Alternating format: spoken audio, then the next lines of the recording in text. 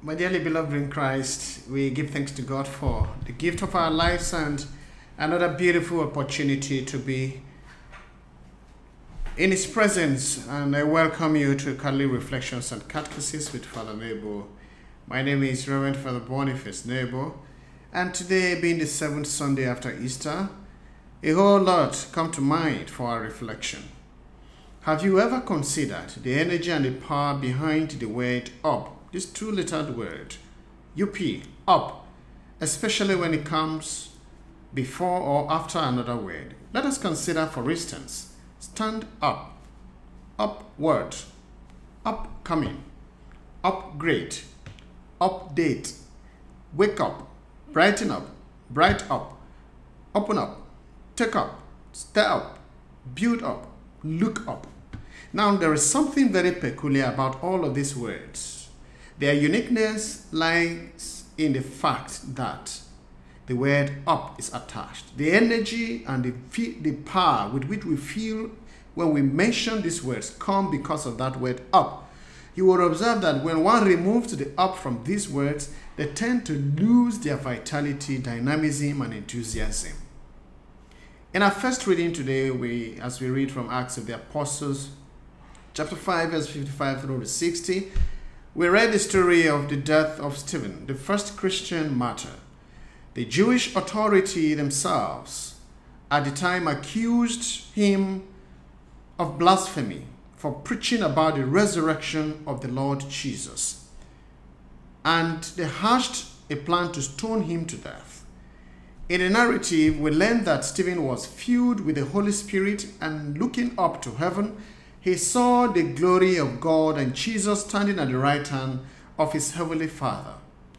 My dear friend, the gospel reading from Gospel of John chapter 17 verse 20 through to 26 on the other hand tells us about the priestly prayer of our Lord Jesus Christ which focuses on the oneness of his followers. The question of Christian unity comes to mind and their need for divine provision and protection.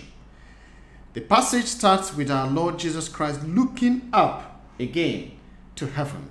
There is something about looking up that the liturgy of this particular Sunday wants us to learn, especially following the ascension, the taking up, the going up of our Lord Jesus into heaven, which left the apostles gazing up again towards heaven. Looking up means redirecting our energy, our attention, changing our focus from a lower region to a higher one. In the book of Psalms, particularly Psalm 121, verse 1 through to 2, David exclaims, I lift up my eyes to the hill, to the mountain, from where my help comes from. My help comes from the name of the Lord who made heaven and earth.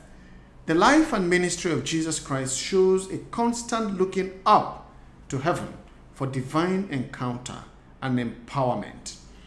After his baptism, he looked up, the heavens opened, and the Spirit of God descended upon him like a dove, and the voice of the Father comes down upon him, saying, This is my beloved Son, with whom I am well pleased.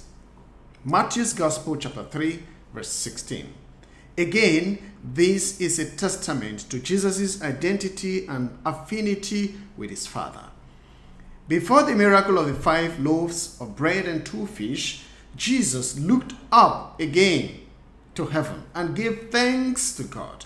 And there was multiplication that fed 5,000 people, excluding, according to Gospel of Mark, chapter 9, verse 14 to 16, excluding women and children. Dear friends, looking up means looking up to God. Looking up to heaven means looking up to God. In the letter to the Colossians, chapter 3, verse 1 through to 2, St. Paul instructs us as follows If you have been raised with Christ, seek the things that are above, where Christ is seated at the right hand of God. Set your minds on things that are above, not on things that are on earth. From these words of St. Paul, we come to understand that looking up is a mindset. In fact, a heavenly mindset and an important key to success. When you keep your gaze on your mission, when you keep your gaze and focus on what you set out to achieve, the moment you begin to look down or look back, you begin to get distracted and the word of God again in the Gospel of Matthew that anyone who places his hands on the plow and looks back is no longer fit for the kingdom comes to bear. The apostles who received the Holy Spirit after the ascension of the Lord Jesus Christ, when they went up to the upper room where they kept looking up again to heaven in prayer. Acts of the Apostles, chapter 1, verse 13 through to 14. Generally in life, my dear friends, dear brothers and sisters, we often look up to people and to certain events to take us from one point to another. We look up to somebody to motivate us. We look up to somebody to help us. We look up to people to give us all assistance we need. Often we get more stressed than blessed, more frustrated, frustrated rather than favored, and more setbacks than successes when we keep looking around for help and assistance rather than look up to God. Like in the words of David, for where our help shall come from, if not from the Lord who made heaven and earth. I therefore charge you as I charge myself, dear friends, dear brothers and sisters, we need to look up to God because his love will never fail us. Psalm 136. And he is always faithful. 1 Corinthians chapter 1 verse 9. We need to look up to God because He will supply all our needs according to the abundance of His riches in glory. Philippians chapter 4 verse 19. We need to look up to God because He cares about us even when our closest relatives abandon us. Psalm 27 verse 10. We need to look up to God because His goodness and mercies are forever sure. Psalm 23 verse 6. Beloved in Christ, as we celebrate the last Sunday of Easter and look forward to the outpouring of the Holy Spirit on Pentecost, let us stop looking back and looking around, but resolve to look up to the Lord, whose steadfast love and mercies never end. If you don't look up, you screw up, and God will not raise you up, and you may end up giving up. So brace up as we move up to the Lord in the Holy Eucharist. It is a glorious Sunday indeed for us already. A second dimension and a second point from our, for our reflection today is on inclusive, inclusive Christianity that does not exclude God. And one of the most challenging teachings of Jesus is turning the other cheek to someone who hits us on one cheek. That can be difficult. By this teaching, Jesus was speaking metaphorically about the need to avoid retaliation in the face of violence and insults. He gave a very practical example in John 18, verse 23. When a policeman struck him, he only asked, Why do you strike me? without retaliating. Jesus used turning the other cheek as a template to teach us not to retaliate or pay back evil with evil. Interestingly, my dear friend, Jesus mentioned the right cheek. For one to hit another person on the right cheek, the person must either use their left hand or the backside of their right hand. Using the backside of one's palm to hit someone has a humiliating implication amongst the Jews. Therefore, Jesus implies that revenge and vengeance is not the correct response in the face of humiliation and violence.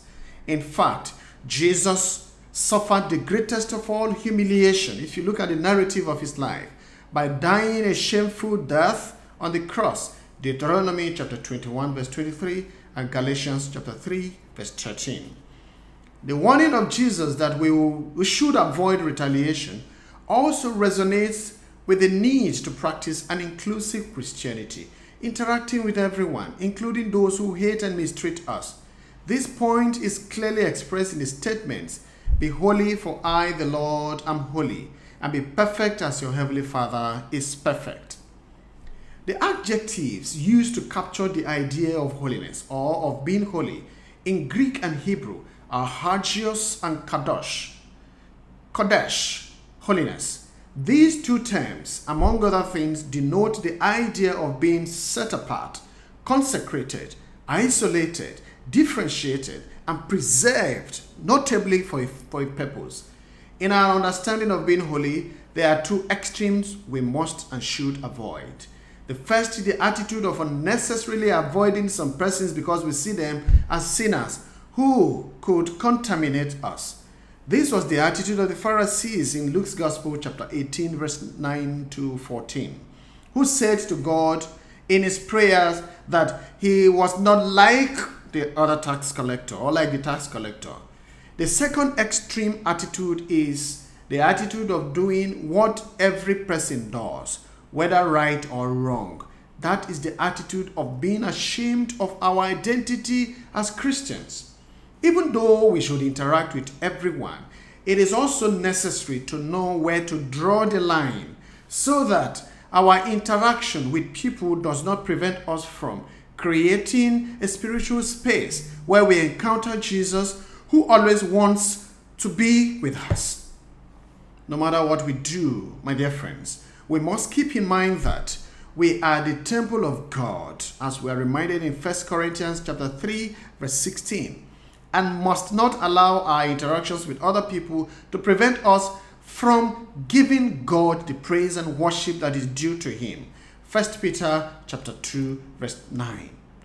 And this reminds us that we are a chosen race, a royal priesthood, a holy nation, God's own possession a consecrated people set apart that we may proclaim the mighty acts of him who called us out of darkness into his marvelous light.